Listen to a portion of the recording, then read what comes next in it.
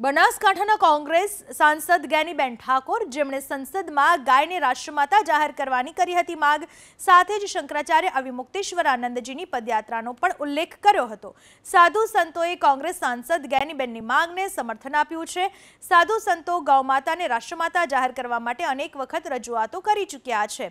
ખાસ તો ગૌ હત્યાને રોકવા માટે કડક કાયદાની સાધુ સંતોની માગ છે. એવામાં જ્ઞાનીબેનની રજૂઆત બાદ સાધુ સંતોનું કહેવું છે કે સરકાર ગાયને રાષ્ટ્રમાતા જાહેર કરે. હિન્દુત્વના મુદ્દાને સદનમાં ઉઠાવતા રહો. જ્ઞાનીબેનનો માંગ જે છે, એક નવી માંગ નથી. દેશના સંતો અને દેશના ધર્માચાર્યો, દેશની હિન્દુ પ્રજા વારંવાર સરકારને આ માટે પ્રેરણા કરી છે. ચોક્કસથી ગાય માતા, રાષ્ટ્રમાતા ઘોષિત થવું જોઈએ.